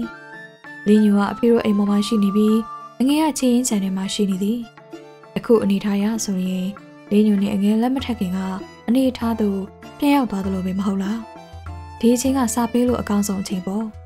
လင်းညူသဘောကျစွာတစ်ချက်ပြုံးလိုက်ပြီးအိမ်ရောက်သူစင်ကကြောက်ခဲခက်လက်လက်အရွယ်တစ်လုံးကိုကောက်ယူပြီးအိမ်မော်သို့ပြန်တက်လာခဲ့သည် ထို့နောက်ဘေဘီဝဲရအရေးကြီးကိုကြည့်ကစာကိုထုတ်၍ကြောက်ခဲတွင်ပတ်လိုက်ပြီးအငယ်ရှိရာချင်းချန်တဲ့သူအိမ်ပေါ်မှနေ၍လမ်းပြလိုက်သည်ကြောက်ခဲကတော့အငယ်ချီတော်နာစိုက်စိုက်မြင်မြင်ရောက်သွားပြီမဲ့ကန်ဆိုးစွာနဲ့စာကကွာကျန်နေခဲ့ပြီးအိမ်အောင်မှထွက်လာတော့အဖေကောင်းပေါ်သို့ပြုတ်ကျသွားတော့သည်ဟာဘာတော့ဟာတာဟမ်အဖေအဖေကစာကိုဖြန့်ပြီးဖတ်ဖို့လို့သဖြင့်လေးညူမအလန့်တကြားအော်ပြီးတားရသည်အ ဖေမဖတ်နဲ့လေးညူရဲ့အော်တန်ကြောင့်အငယ်ကချမ်းစီယိုနာမှာခေါင်းလေးပြူတစ်ပြူတစ်လောက်ခါဘာဖြစ်တာလဲဟုလာဆက်ဆူသည်လေးညူလဲအိမ်မောကနေဝရုံးသုံးကပြေးစင်ကအဖေစီပြေးရတော့သည်သို့တော်လဲစိတ်မြန်လက်မြန်ရှိလွန်းလာတော့ဦးအောင်မောင်ကဖွင့်ပြီးဖန်နေပြီတို့ချစ်ရပါတော့ဦးတုံအသေးတုံလေးအငြင်းကြီးအမေဒီကောင်လေးဘာလဲဟာ အငြင်းကရေးစားစာဖတ်ချင်နေပြောပြီးမြဲကိုလေးကချက်တဲ့အကြောင်းတွေကိုဖွဲ့ဖွဲ့နွန့်နွန့်မရေးတတ်တော့ချစ်တယ်ဆိုတာထပ်ပိုမရေးတတ်ဘူးအောင်မအဖေပြပြပြကိုလေးချစ်တာအငယ်တီးပြီးသားဆိုတော့အငယ်မတီးသေးတဲ့ကိုလေးရဲ့တတ်မှတ်မှုတွေကိုပြောပြတော့မယ်အငယ်ရဲ့ဖွေးဥချောမွတ်နေတဲ့အတွင်းသားလေးတွေကအစကိုလေးမှာ နမ်းလို့မဝကြိုက်လို့မဝဟာငါတဲဒီမအေးပြီးခွေးသားနှစ်ကောင်ကတော့ဖေးလုံးမယ်နော်လင်းညိုအားကုန်လှမ်းကန်သောအဖေခြေထောက်တွေကိုရှောင်ပြီးအဖေလက်ထဲမှာစားကိုလူကအငယ်ရှိရာသို့ပြေးရ၏အငယ်ကတော့ချန်စီယိုဆက်တွင်ရက်နေကမျက်လုံးကလေးအပြူသားနေ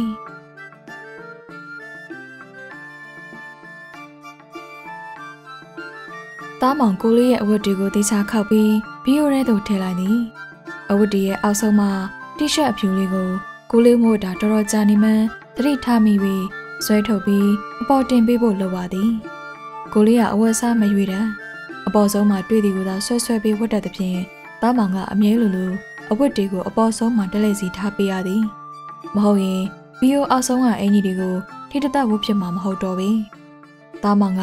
အောက်ဆုံးမှာအင်ကြီးကိုဆွဲထုတ်လိုက်စဉ်စားကောက်ကလေးတစ်ခုကခြေထောက်ပေါ်သို့ပြုတ်ကျလာသည် ဟာ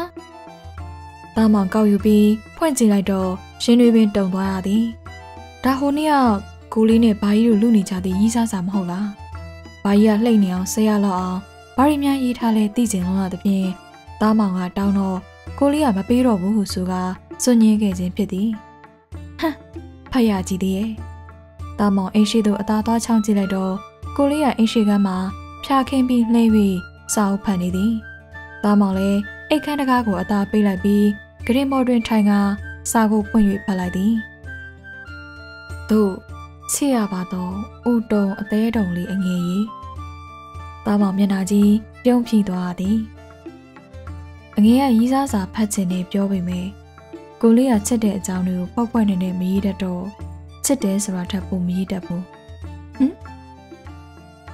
ကိုလေးချစ်တာအငယ်သိပြီးသားဆိုတော့အငယ်မသိသေးတဲ့ ကိုလေးရဲ့တတ်မှတ်မှုတွေကိုပြောပြတော့မယ်အငယ်ရဲ့ဝေဥချောမော့နေတဲ့အတွင်းသားလေးတွေအစားကိုလေးမှာနမ်းလို့မဝကြိုက်လို့မဝဟမ်အငယ်သိရလားအငယ်ရဲ့ဇံပြားလေးတွေကစပြီးခြေသေးကွန်လေးတွေအထိကိုလေးကမျက်နှိုးတယ်အငယ်စပင်းတွေခြေသေးတွေညှက်ပြရတဲ့အခါတိုင်းကိုလေးမှာနှမျောလို့မစုံဘူးအငယ်ရဲ့လေတိုင်းရှင်းရှင်းလေးနဲ့ရှင်ဘတ်ဖူးဖူးလေးကတော့ ကိုလေးစိတ်မခိုင်တဲ့အကြောင်းတရားတွေပေါ့အာကိုလေးကတော့သားမောင်မျက်နှာတွေထူပူလာပြီကိုလေးကဒါမျိုးတွေတကားမှမပြောတတ်ဘူးမဟုတ်လားအငဲ့ရဲ့ခါယိုးဆက်နေရလေးကကိုလေးရဲ့အားနေချက်ဆိုရင်တင်ပါလုံးလုံးလေးတွေပေါင်တွင်းသားနုနုလေးတွေကကိုလေးကိုအချိန်ချင်းတတ်တဲ့လက်နက်တွေပါအငဲဗုဒ္ဓဘာကြီးကဒါတွေအကုန်လုံးဖတ်လိုက်တာတော့မဟုတ်ဘူးမလားသားမောင်နှစ်ရွက်တွေပင်ပူလာပြီဖြစ်သည် ပြီးတော့လေအငဲ့ရဲ့အတန်လေးကိုလေးတို့ချစ်ကြတဲ့အခါတိုင်းကိုလေးလို့အငဲခေါ်လိုက်တဲ့အတန်တူတူလေးတကြားမင်းကသူ့မိဖုရားရဲ့နဲ့လဲပေးမယ်အငဲကိုပေးဆိုရင်တော့ကိုလေးကဆဲကားပြန်ညင်းရဖို့အထိပါပဲအငဲကြီးအာကိုလေးရေကိုလေးအငဲကိုတက်မှတ်တာတွေထိုင်ပြောရကြီးဆိုရင်တထောင်တညပုံမြင်ထက်တောင်မှရှည်သွားလိမ့်မယ်ကိုလေးအများကြီးမရတတ်ဘူးအငဲနောက်ဆုံးတစ်ခုပဲပြောချင်တယ် အငဲရဲ့နှွေးထွေးအိဆက်နေတဲ့ရဝန်းလေးကိုကိုလေးချစ်လို့မဝဘူးသိလား။နောက်လည်းချက်ဖို့ခဏခဏစူးစမ်းနေအောင်မဲ့အငဲရဲ့ခင်မွန်ကိုလေးဟာကုန်းမောင်ရဲ့ဒါတွေအကုန်တော့မဖတ်လိုက်မိဘူးမလား။တားမောင်သိခံနိုင်စွာတို့ကုန်းသွားခဲ့ရပြီ။အိယာပေါ်မှာဝုန်းကနေထားကအိတ်ကန်းတကားကိုဆွဲပွင့်ပြီးအိမ်ရှိကန်းတွင်စာဖတ်နေတော့ကိုလေးစီတို့ဘုံတိုင်းကျဲရောက်သွားတော့၏ကိုလေးဟမ် အငဲဘာဖြစ်လို့လဲလေဘီစားဖက်နေရမှာကိုလေးကခေါင်းထောင်ကြည့်ပြီးအလန့်တကြားပြန်မိသည်။သားမောင်ကလဲနေသောကိုလေးဘိုက်ပေါ်တက်ခွာလိုက်ပြီးရှင်ဘက်ကိုတပုံးပုံးနဲ့ထုပြလိုက်သည်အာအာအာအငေးကိုလေးကသားမောင်လက်တွေကိုအတင်းဖမ်းဆုပ်ပြီးဆွဲချုပ်ထားသည်အငေးကိုလေးဘာလုပ်လို့လဲဘာလို့ရမှာလဲဤစားစာရေးပြီးပါဆိုမှဘာလို့ညဉ့်ညမ်းစာပေးရေးရတာလဲဟမ်ဘာညဉ့်ညမ်းစာပေးရေးလို့တော့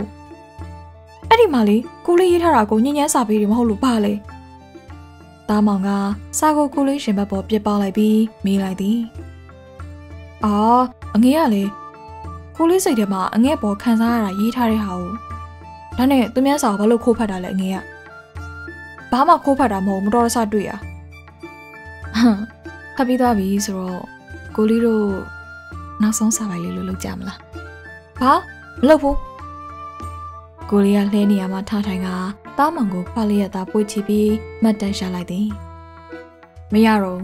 ကိုဘာသာအေးအေးဆေးဆေးနေပြီးစာအုပ်ဖတ်နေတာကိုလာပြီးအစပေါ်တာပြီးတော့ခန်းစားချက်နဲ့ရေးထားတာကိုလည်းညဉ့်ညမ်းစာပေးဆိုပြီးတော့ပြောခံရတယ်ငွေပြောရညဉ့်ညမ်းနေဆိုတာဘယ်လိုလဲသိအောင်ပြပေးမယ်ခု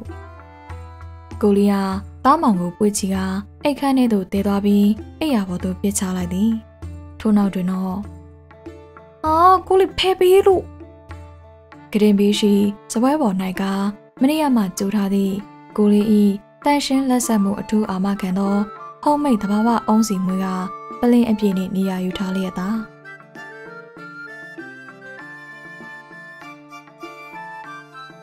ရေကြီးရွာကအလေတန်းကြောင်လေးကိုငိုင်းစုအားထကနေတွဲဘက်ထက်တန်းကြောင်ရဖို့အရေးအငယ်နှင့်ဆရာကြီးဦးလာဆောင်ဦးဆောင်ပြီးကျိုးပန်းနေခဲ့ကြသည်မှာအကောင့်ထဲပေါ်ကနေနေပြီ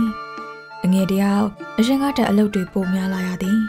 ငိုင်းစုကျောင်းကိုအခောက်ခောက်အခါခါသွားလိုက်မြို့ကပညာရေးမှုရုံးကိုဆရာကြီးနဲ့လိုက်သွားလိုက်ဖြင့်နားရသည်မရှိပေကြတော့အဖေကပင်ပြောလာတော့သည်ကိုလာဆောင်ကြုံရင်တော့ပြောဦးမဟေးစာတင်ကျောင်းမှာဆရာဆရာမအင်းအကောင်တစ်ကောင်ပဲရှိတာမှမဟုတ်တော့ဘူးဖစ်နေအားနေမြသားမောင်မြသားမောင်နေခေါ်ခေါ်ခိုင်းနေတာ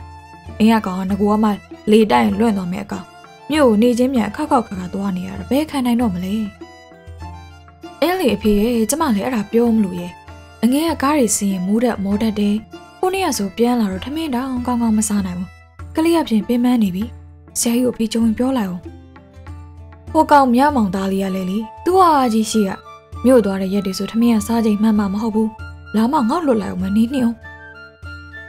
ကုန်းမောင်ရဲ့တော်ကလည်းအငဲ့ကိုဆူဆူပူပူတွေလုံမနေပါနဲ့ သူ့ခမပင်ပန်းနေရတဲ့ကြားတွေကိုအဲ့ဒီစားကိုလာဆောင်သာတော့ပြောစမ်းပါအမေနဲ့မမထွေးညိုတို့ကလည်းစိတ်ပူနေကြပြီအငယ်ကတော့အထက်တန်းကြောင်ရဖို့အရေးသူ့အရေးမို့သူကိုယ်တိုင်တက်ကြွနေသဖြင့်လင်းညူကဘေးမှနေ၍သာအတက်နိုင်ဆုံးလိုက်ကျူးဆိုင်ပေးနေရတော့သည်လင်းညူအတွေးများနေစေအငယ်ကချမ်းထဲသို့ဝင်လာသည်တယောက်တည်းမဟုတ်ရေကြီးမှတာဝန်ကျတာတိတ်မကြသေးသောမြို့ဝဆရာမလေးမတ်ဟန်နေနေဖြစ်သည်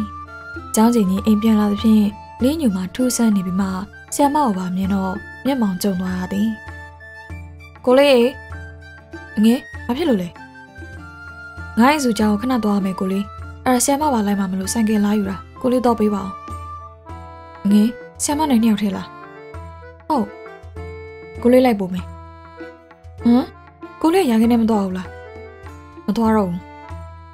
လင်းညူဟာတိုင်းမချိတ်ထားသောဆိုင်ကယ်တော့ကိုဖြုတ်လိုက်သည် ထို့နောက်အိမ်ရောက်သို့ဆင်း၍ဆိုင်ကယ်ပေါ်တက်ခါဆက်နှိုးလိုက်သည်အငယ်ကလင်းညူနောက်မှခွာထိုင်လိုက်သည်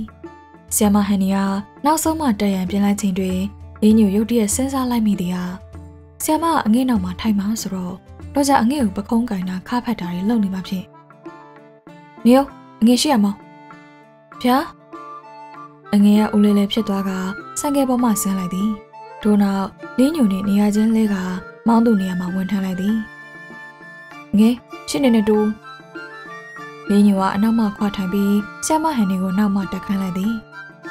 ဆီယမတက်လေပြုတ်ချမှာဆိုရင်ကျွန်တော်အင်ကြီးကိုကင်ထားခမရှင်ဟုတ်ဟုတ်ကဲ့ထို့နောက်ငိုင်းစုသွားသည့်ဆန်ကဲပေါ်တွင်ရှေ့ရမောင်းနေသောအငဲ့ကိုရင်ခွင်ထဲထည့်ကအုတ်ကထားပြီးပူပူသေးသေးနှင့်ဆ iam ဟန်နီကတော့နောက်မှနေ၍လင်းညို၏ခါမှရှဲအင်းကြီးကိုမရက်တရက်ဆုပ်ကင်ထားရှာသည် လင်းညိုတယောက်ပဲအလဲမှအရက်ကြီးကလန့်ကလာနေ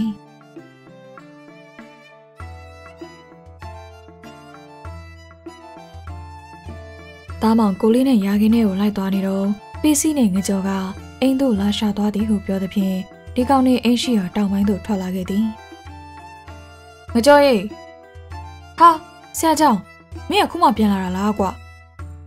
အေးမင်းတို့ငါ့ကိုလာရှာရစို့ အေးကွာငါမဟုတ်ဘူးပေးစီရေလာလာလာချင်းအိမ်တော့ကြမယ်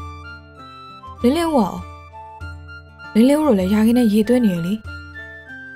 တားမောင်နဲ့ငကြောအားချေရင်ရှိပေးစီတို့ခြံထဲသို့ဝင်ခဲ့တော့ပေးစီရဲ့အိမ်ပေါ်မှာအာရဝမ်းသာပြေးဆင်းလာသည်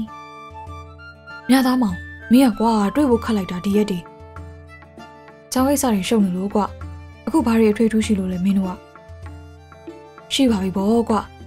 ငါရဲ့ မိချမ်းကိုခိုးတော့မလို့ဟမ်အေးကွာ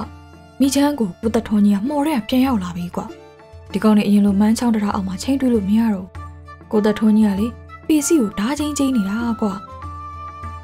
ဟာလူငယ်တဘာဝချစ်ကြိုက်တာပဲကိုတထုံးကလေအေးပါစို့အဲ့ဒါကြောင့်ငါတို့မိချမ်းကိုခိုးကြမယ်အေးခိုးကွာ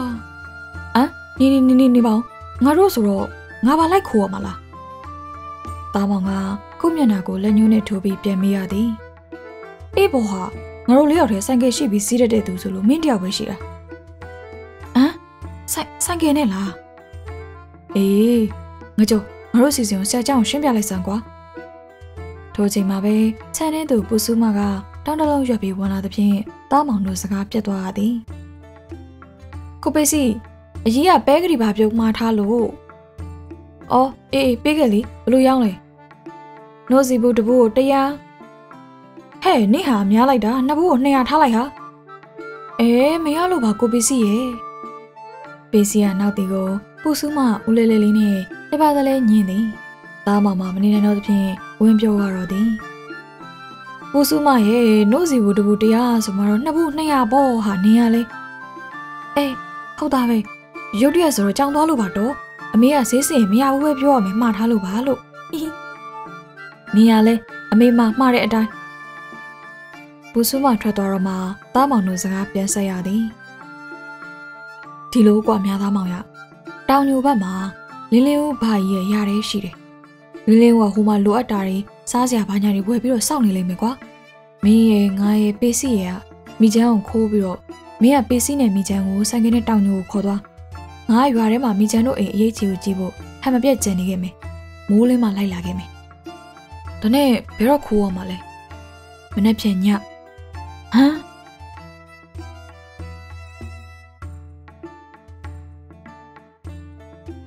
နေ့လေကလေးကတားမောင်တယောက်ပစ္စည်းအတွက်မိချမ်းကိုခိုးဖို့ရာကနာမငြိမ်ဖြစ်နေရသည်မိချမ်းကဥက္ခရာကတော့ဒေါ်လေးတန့်ရင်ရဲ့တူမဆိုတော့ပို့ပြီးတော့စိတ်လိုရှာရသည်ကိုလေးကလည်းတညာလုံးနားချထားသည်မှာအာကိုပေါ့လို့အစပိုင်းမှာကိုလေးကလက်မခံဘူး။ ကျောင်းဆရာတယောက်ကဒါမျိုးမလုပ်သင့်ဘူးဆိုတာခွင့်မပြုပေ။တားမောင်အတင်းကာရောချက်တိုင်လုံးမှသာကိုလေးပါလိုက်ခဲ့မယ်ဆိုပြီးသဘောတူညီချက်ရခဲ့ခြင်းဖြစ်သည်။ည7နာရီဝန်းကျင်ကန်တွင်စောစောအိတ်တက်ကြသည့်ရေကြီးရွာလေးကအိမ်မောကြနေကြပြီ။တားမောင်တို့အုပ်စုသာမိချမ်းတို့အိမ်သားရှိမှောက်ရေးမှာငိမ့်သက်စွာငုတ်တုတ်ထိုင်နေကြရသည်။ဆိုင်ကယ်တန်ကြားမည်ဆို၍ကိုလေးကဆိုင်ကယ်ကိုခတ်ဝေးဝေးမှရပ်ထားသည်။နိုင်ဝက်ခံကြသည့်အထိမိချမ်းတို့အိမ်ကဘာလို့ရှားမှုမှမရှိသဖြင့် စိတ်ပူစပြုလာကြသည်။အိမ်ချင်းကရမှာဘာကြီးဥဖို့ထော်ရီဟောက်တန်ကတော့စီးရက်ညင်ညင်ထွက်ပေါ်နေပြီးကြံပတ်ဝန်းကျင်တစ်ခုလုံးကတည့်ရွက်ပေမလို့။ပေးစီမိချမ်းကဆက်မလာတော့လားဟာ။သားမောင်ကပေးစီကိုလေးတန်းလေးနဲ့မိတော့ပေးစီကလည်းဒိုးဒိုးပြန်ပြေးသည်။လာမှာပါကွာ။သူ့ကိုကိုတထွန်းကြီးကအိတ်ရှိခန်းမှာအိတ်တာကွာကိုလေးက တားမောင်တို့နာရောက်လာပြီးတားမောင်ခြေထောက်နားကိုလက်နဲ့ရမ်းနေပြီးသည်ငဲ့ကိုချင်းနေကြိုက်မှာဆိုလို့မကြိုက်ပါဘူးကိုလေးကလေညီညီနီဟဲ့ကောင်းနေဟိုမှာဆင်းလာပြီဆင်းလာပြီမိချန်ကအိမ်ပေါ်မှာဆင်းလာပြီးအဝတ်ထုတ်ကိုအရင်ဆုံးချန်စီကိုကြော်၍အလန့်ပစ်ချလိုက်သည်ထို့နောက်ဝလုံးတန်းချန်စီကိုအောက်ကငုံတိုးပြီးအပြင်သို့ထွက်နေစဉ်မိချန်ဘယ်ရောက်သွားလဲ ဘုတ်တော်ဟာကိုတထွန်းကြီးနိုးသွားပြီကွာဟဲ့ကောင်လေးပေစီကမိချန်ရဲ့အဝတ်ထုတ်ကိုအပြင်းလွှားတောက်ကောက်နေစဉ်တွင်ငကြောကမိချန်ကိုချန်စီကိုအောက်မှပြေး၍ဆွဲထုတ်နေသည်မိချန်အိမ်ပေါ်တဲ့ပြင်းပေါက်မှာကိုတထွန်းကြီးအော်လိုက်တန်ကြောင်းတားမောင်တို့အားလုံးလှမ်းဖြတ်သွားကြပြီးကိုလေးကအပြေးလွှားလျှောက်လာကသားမောင်လက်ကိုဆွဲပြီးဆိုင်ကယ်စီသို့ပြေးသည်ငင်းလာလာလာဆိုင်ကယ်ပေါ်တက်မိချန် လာခဲ့လာခဲ့သားမောင်ကလည်းနောက်လှည့်ပြီးအမောင်မမဲတဲ့မိချန်လက်ကိုဆွဲရသည်အမောင်ထဲမှာအတွဲလိုက်ကြီးဆိုင်ကယ်ပေါ်ပြေးတက်ကြရင်ရုံရင်ဆန်ခန့်နဲ့ဖြစ်ကုန်ကြရတော့သည်ကိုလေးရဲ့ဆိုင်ကယ်မောင်းပြီးသားမောင်ကကိုလေးရှိရခွာကြားထဲမှာကွေ့ကွေ့လေးဝင်ထိုင်ထားသည်ကိုလေးနောက်မှာမိချန်မိချန်နောက်မှာကတော်သေးတယ်လွတ်တယ်လွတ်တယ်ကိုလေးညူအချိန်နဲ့တင်လိုက်ပါအောင်ဗျဟမ်ငကြော ရှုပ်တရက်မိချမ်းနောက်မှာဆန်ကဲပေါ်ခွာထားသောငကြောထံမှအတန်ထွက်လာသဖြင့်ကိုလေးနဲ့သားမောင်တို့အလန့်တကြားအော်မိရတော့သည်အဲကိုပစ္စည်းရဲ့အထောက်ကြီးနဲ့ကြံခဲ့ပြီဟမ်ထိုအခါမှာငကြောကလည်းအလန့်တကြားအော်တော့သည်လခွဟေးမြားသားမောင်နေခုနဘာလို့ငါလက်ကိုလာဆွဲတာလဲကွာငါကြောက်ကြောက်လဲလဲနဲ့ရှောင်းပြီးတော့မင်းနောက်ပါလာတာငါဘယ်မှာဆွဲလို့လဲလို့ငါမိချမ်းလက်ကိုဆွဲတာ မအေးဘေးလေမင်းခုနဆွဲလာတာငါလက်ကြီးဟာငါမှမိချမ်းကိုဆွဲလာတာဟာအခုလို့ဆိုအကိုကြီးကကိုပစ္စည်းကိုအထုပ်ကြီးနဲ့မိသွားတော့ပါပြီဒုက္ခပါပဲကိုလေးကတော့ခုမှတော့မထူးဘူးဆိုပြီးဆိုင်ကယ်ကိုသာတောင်ညိုတို့မိုင်းကုံမောင်းနေတော့သည်တောင်ညိုရောက်တော့လင်းလင်းဦးကသားမောင်တို့လေးယောက်ကိုကြည့်ပြီးပါဇက်အဟောင်းသားနေကျန်ခဲ့တဲ့ရေကြီးရွာမှာတော့ကိုသက်ထွန်းဤအော်တန်းအလော်တကြီးမောင်းထွက်သွားသောဆိုင်ကယ်ဆက်တန်တို့ကြောင့်တရွာလုံးနိုးကုန်ကြက ပေးစီတယောက်မိချမ်းဤထမိန်ထုတ်ကိုပိုက်၍ကိုသက်ထွန်းဤလက်တွင်းသို့တက်ဆင်းရတော့သည်ရွာသူရွာသားတွေကလည်းတမင်းကိုစီနှင့်မိချမ်းတို့အိမ်ရှိ၌ပြုံးအောင်နေကြပြီဟဲ့ကောင်ပေးစီမှန်မှန်ပြောစမ်းမိချမ်းအခုဘယ်မှာလဲဟိုကိုကိုလင်းညိုဆိုင်ကယ်နဲ့ပါသွားတယ်ဟဲဟင်းလင်းညိုကမိချမ်းကိုခိုးတော့တာလား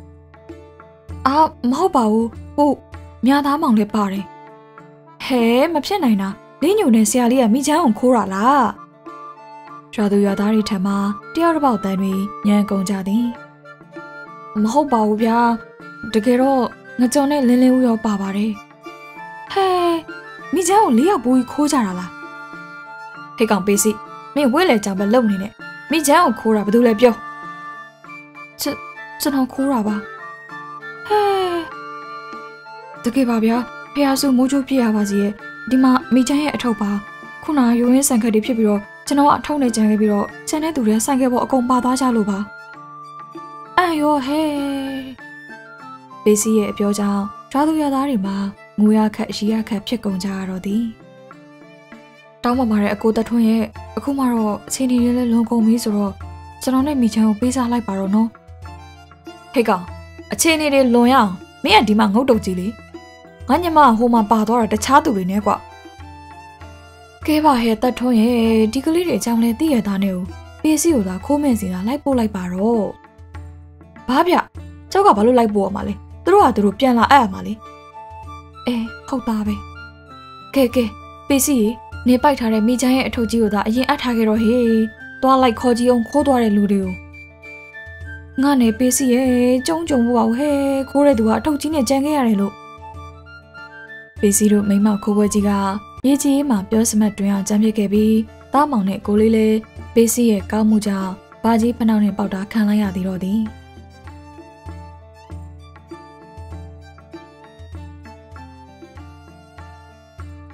ထွေးညိုပိုးလက်စာအိုးတွေကိုချထားလိုက်ပြီးညစာချက်ရမတ်တရလိုက်စဉ်လူကမိုက်ကနေဖြစ်သွားသဖြင့်အနည်းရှိတိုင်ကိုမိထားလိုက်ရသည်ဟဲ့ထွေးညိုဘာဖြစ်တာလဲ အိမ်ရောက်တော့ဝင်လာတော့ဒေါ်လေးနှင်းစီကထွေးညိုကိုတွေ့သွားပြီးပြေးလာကမိသည်ဘာမှဖြစ်ပါဘူးဒေါ်လေးရဲ့ရုပ်ရည်ကြီးမိုက်ကနေဖြစ်သွားလို့ဟဲညီလာစားအောင်ဒီနောက်ဒေါ်လေးကထွေးညိုလက်ကိုဆွဲခေါ်သွားပြီးခုံတက်ရ၌ထိုင်ခိုင်းကထွေးညို၏နှစ်ဖူးဆက်နှင့်နှစ်သက်ဆက်ရှိစန်းစားတို့ကိုတီချကြည့်သည်ထွေးညိုဓမ္မရာရောမှန်ရဲ့လားအဲဒေါ်လေးနှင်းစီပြောမှထွေးညိုလည်းသတိထားမိသည်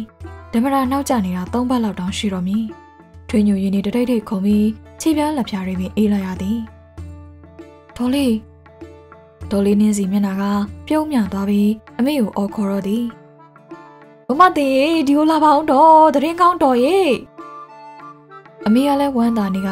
ထွေးညိုကိုတောင်ပိုင်းကတားဖွားဆီယမစီခေါ်သွားပြီးတေးချောင်စစ်ကြီးကြတော့ဆီယမကအတီးပြုတ်ပေးလိုက်သည်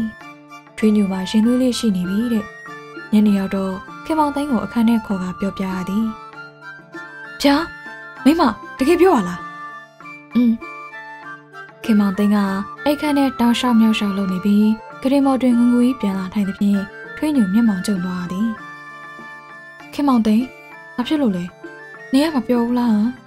။ခင်မောင်သိန်းကထွေးညူရဲ့လက်နှစ်ဖက်ကိုဆုပ်ကိုင်လာပြီးကျုပ်တောင်းပန်ပါတယ်မိမရဲ့ကျုပ်ကြောက်မှာကျုပ်ကြောက်မှာ ခင်မောင်သိန်းနေပါရီပြောနေရလေကျုပ်ကြောင့်မိမဖိုက်ကြီးပို့ပြီးတော့ကလေးမွေးရတော့မယ်ကျုပ်ကကလေးတွေလိုချင်ပေမဲ့မိမဖိုင်းနာမှာမကြည့်ရဘူးရဲ့ဘာများဖြစ်လဲလို့ခင်မောင်သိန်းရဲ့ဒါတွေကသဘာဝတွေပါဟဲ့ကို့ရင်သူလေးအတွက်ပဲဟာဦးဒီလိုပဲအားတင်ရမှာပေါ့ပြီးတော့ဟိုနင်းလဲရှိတာပဲထွေးညိုကပြောပြီးရှက်သွားသဖြင့်ခေါင်းငုံလိုက်မိသည်ခင်မောင်သိန်းကထွေးညိုမျက်နှာကိုဆွဲမော့စီဟာ ပါကိုရှုပ်ကနေလာနေသည်ကျုပ်ရှိတယ်နော်မိမဘာမှမကြောက်နဲ့မိမကိုကျုပ်အစွမ်းကုန်စောင့်ရှောက်မယ်ထွေးညိုယုံပါသည်ခင်မောင်သိန်းကသူပြောခဲ့သည့်စကားအတိုင်းအကြီးလိုပဲနေပြီးထွေးညိုလာမကအင်ကအဖေတို့အမေတို့အတွက်ပါအားကိုးရသည်လင်းညိုနှင့်အငဲ့ပေါ်မှာလည်းညီကိုရင်းလိုသဘောထားခဲ့သူဖြစ်၍ထွေးညိုဟာကျေနပ်ရပါသည်ညနေအငဲ့ကျောင်းဆင်းချိန်ရောက်တော့လင်းညိုဟာအငဲ့ကိုသွားကြိုလာသည် တအိမ်လုံးတီးပြီးဖြစ်သည့်သတင်းတုကိုအငဲ့တယောက်သာမသိရသေးပြီထွေးညိုကအငဲ့ကိုပြောပြဖို့ပို့ပြီးစိတ်လှုပ်ရှားရသည်တအိမ်လုံး၏အငဲ့ဆုံးလေးကသူ့ထက်ငေးမဲ့သူရောက်လာတော့မည်ဟုသိလျင်ကျင့်နေအောင်မည်လားဒါမှမဟုတ်တူလေးသို့မဟုတ်တူမလေးရတော့မည်ဟုပြောနေမည်လားသိချင်မိရပါသည်သိကြတာကတော့ကလေးချစ်တတ်တဲ့အငယ်ကဘာလေးပဲဖြစ်ဖြစ်လက်ခံကြိုးစုပေးမှအမှန်ပင်ဖြစ်သည်တူရီတော်သားတကောင်ကျွက်လေးကအဖော်မက်လွန်းလာပြီး ငငယ်ကလေးကလေးညူနဲ့ထွေးညူနာတောက်တန်လေးလိုတွဲကပ်နေခဲ့သည်ကြီးလာတော့လေရွာရဲရှိကလေးမှန်သမျှဘိုးဘိုးခွက်တွေလှုပ်ပေးပြီးကလေးတွေရဲ့အချက်တော်လေးလည်းဖြစ်ခဲ့သည်အခုလိုထွေးညူကမွေးပေးမဲ့သူ့ကိုယ်ပိုင်တူလေးတူမလေးတွေဆိုအငယ်တယောက်ဘလောက်များသဲလိုက်ပါလိမ့်မလဲလင်းညူကဆိုင်ကယ်ကိုခြံထဲသို့မောင်းဝင်လာပြီးတီကားချင်နိုင်ရလိုက်သည်အငယ်ကဆိုင်ကယ်ပေါ်ကဆင်းပြီးထုံးစံအတိုင်းအမေကိုအော်ခေါ်က အိမ်မော်သို့ပြေးတက်သွားသည်မေးရေကျွန်တော်ပြန်ရောက်ပြီနော်ငယ်ခြေတောင်းအမေဒီနေ့လူစုံနေကြပါလားအငဲ့အမေဒေါ်လေးနင်းစီပါရောက်နေသဖြင့်အငဲ့ကထူးဆန်းနေသည်ဒေါ်လေးနင်းစီကရည်နေပြီးအမေကအငဲ့ကိုသူ့နားလာထိုင်ရန်ခေါ်သည်အငဲ့လာအောင်အငဲ့ကိုပြောကြရှိလို့ထိုင်ဆောင်နေကြတာဗျာဘာပြောမလို့လဲ မမထွေးညူကရှက်ပြုံးလေးပြုံးကခေါင်းငုတ်သွားပြီးခင်မောင်သိန်းကရီးကျဲကျဲလှုပ်နေသည်အငဲ့ကအနားမလဲသလိုလိုနဲ့လင်းညူကိုလှည့်ကြည့်လာသဖြင့်လင်းညူကပြုံးပြပြီးအငဲ့ခေါင်းလေးကိုပုတ်ပေးလိုက်သည်ဒေါ်လေးနင်းစီကအငဲ့ကိုပြုံး၍ကြည်ကပြောသည်ကဲမြသားမောင်အငဲအငဲနဲ့စိုးဖို့မကြိုးစားနဲ့တော့နင်တော့နောက်ကောက်ကြပြီဗျာဘာလို့လဲ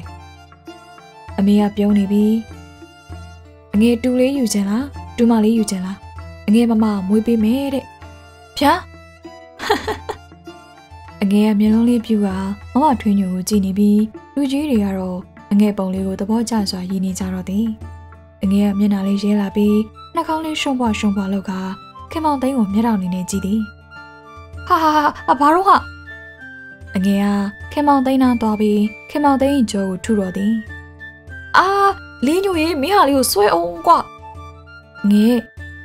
လင်းညိုကအငယ်ကိုဆွဲဖက်ထားလိုက်တော့လင်းညိုရင်ဘက်ကိုမျက်နှာအပ်ပြီးအင်္ဂနဲ့ရှိုက်ခါငိုတော့သည်လူကြီးတွေကတော့အငယ်ဖြစ်ပုံကိုသဘောကျပြီးနေကြပြီသည်ဘာလို့ငိုရတယ်လဲဟာဒီကောင်သူ့အငယ်မဖြစ်တော့မှစိုးလို့လားသူ့တာတီလန်စိုးလို့မရတော့ဘူးဟေးအဖေကတော့တဟဟနဲ့အငယ်ကိုကြည့်ကရီလို့မစုံတော့ပြီလင်းညူကရင်ခွင်ထဲမှာအငယ်နာနာကိုကိုင်းပြီးပါးလေးကိုပုတ်ခါမိလိုက်သည်ဟုတ်လားငယ် အငယ်ကခေါင်းခါပြသည်ဟမ်ဘာလို့လဲအဲ့ဒါဆိုဟမ်ပျော်လို့အငယ်ရဲ့ဒီညူမှာအငဲ့ကိုဦးရလွန်းလာသဖြင့်လူကြီးတွေရှိနေတာမိသွားပြီးအငဲ့ခေါင်းလေးကိုငုံနှမ်းလိုက်မိသည်ဆရာလေးမြသားမောင်ကတူလေးတူမလေးရတော့မှမို့လို့ငိုရတဲ့ထီတောင်ပြောတဲ့လားအငဲ့ရဲ့ကိုပိုင်တွေးသားလေးတော့မရနိုင်တော့တဲ့အတွက်ကိုလေးအားနာပါတဲ့အငဲ့ရဲ့အဲ့ဒီအစား ကိုလေးကချစ်တာထက်ပိုပြီးတော့ချစ်ပေးပါမယ်